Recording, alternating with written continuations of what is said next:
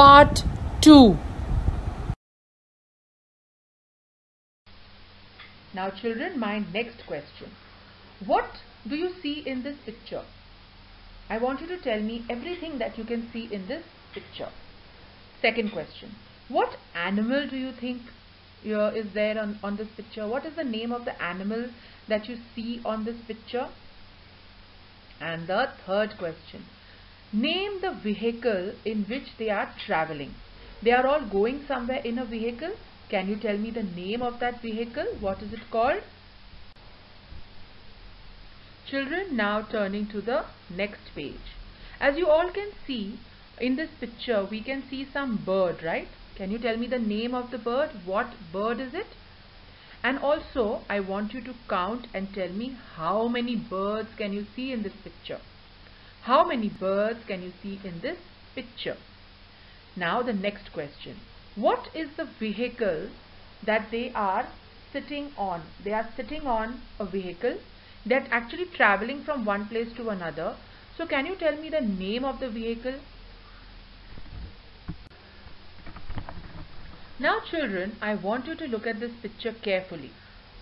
Tell me the names of the different animals you can see in this picture.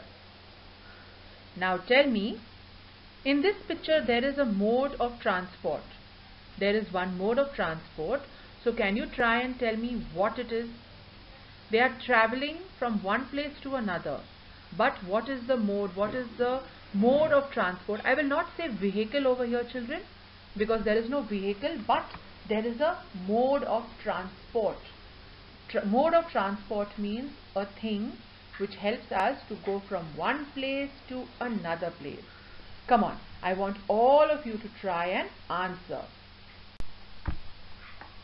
Children, I want you to look at this picture very very carefully. Now, as you all can see, in this picture, there are different different modes of transport. There are different vehicles and different modes of transport. I want you to name the different modes of transport and the different vehicles that you can see in this picture. Children, I hope all of you have been trying to answer all the questions.